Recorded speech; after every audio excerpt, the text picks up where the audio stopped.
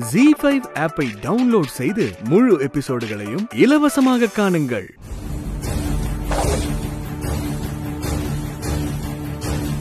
ஏய் ஸ்ரீஜா ஸ்ரீஜா. என்னம்மா? ஏன் இப்படி பதறி அடிச்சு ஓடி வர? எல்லாம் போச்சுடி. எல்லாம் போச்சா? என்னம்மா சொல்ற? ஆமா ஸ்ரீஜா. அந்த ஜான்சி நம்மள அரெஸ்ட் பண்றதுக்கு கிளம்பிட்டா போல இருக்கு. அவ மைதா மாவுக்கு இப்பதாண்டி ஃபோன் பண்ணி சொன்னா.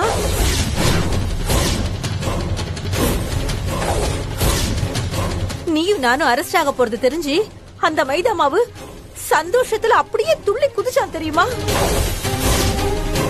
அவன் வாயில இருக்கிற பல்லு முப்பத்தி ரெண்டு வெளியில தெரியற அளவுக்கு ஆனந்தமா சிரிக்கிறான் ஸ்ரீஜா. கட்டின பொண்டாட்டியும் மாமியாரும் ஜெயிலுக்கு போறாங்கங்கிற கவலை கொஞ்சம் கூட இல்லாம சந்தோஷ் சந்தோஷத்துல எவ்வளவு சிரிச்சான் தெரியுமா?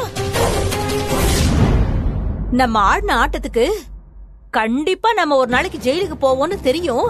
ஆனா இவ்வளவு சீக்கிரமா நம்ம ஜெயிலுக்கு போவோங்கிறது தெரியாது. எதிர்பார்க்கவே இல்லங்கிற மாதிரி. எப்படி சிரிச்சான் தெரியுமா அவன்? நீ ஜெயிலுக்கு போற நியூஸ் அவனுக்கு தெரிஞ்சதும் அவனால சந்தோஷத்தை தாங்கவே முடியலடி. ஏய் உனக்கு கொஞ்சமாவது புத்தி இருக்காடி.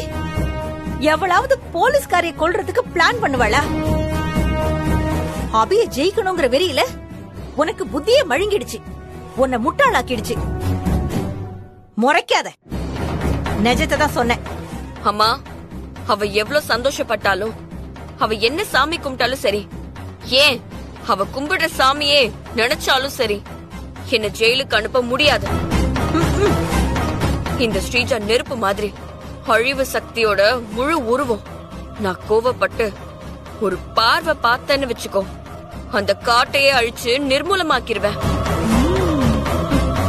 அந்த ஜான்சி என்ன அரெஸ்ட் பண்ண போறாளா? அம்மா அவளா என் கால் தூசிக்கு சமம். தட்டி விட்டு போய்கிட்டே இருப்ப. ஏண்டி சந்தோஷ் சொன்னதை கேட்டதுக்கு அப்புறம் எனக்குள்ள இருக்கிற பயம் இன்னும் அதிகமாயிடுச்சு. அந்த ஜான்சி வந்து நம்மள அரெஸ்ட் பண்றதுக்குள்ள நமக்கு முன்ஜாமீன் கிடைச்சிருமாடி? மா.